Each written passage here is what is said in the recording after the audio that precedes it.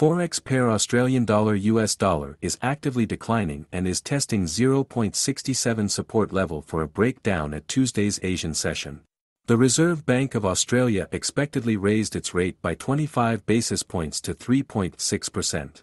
Investors learned from the accompanying statement that the Reserve Bank of Australia expects lower inflationary pressures and reduced consumer activity in the coming months.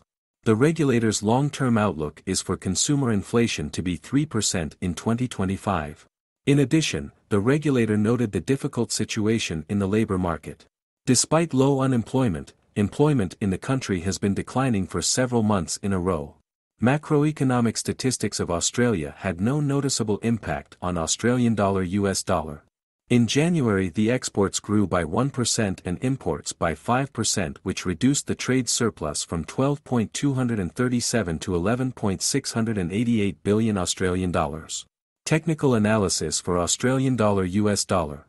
On the daily chart the Bollinger Band indicator is steadily pointing down MACD indicator is decreasing in the negative area and has a sell signal.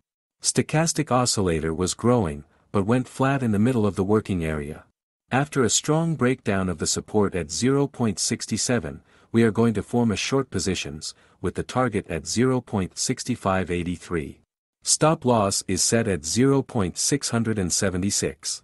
In case of price fixation above 0.675, we start buying towards 0.685. Placement of a protective stop at 0.67. Thank you for watching this analytics.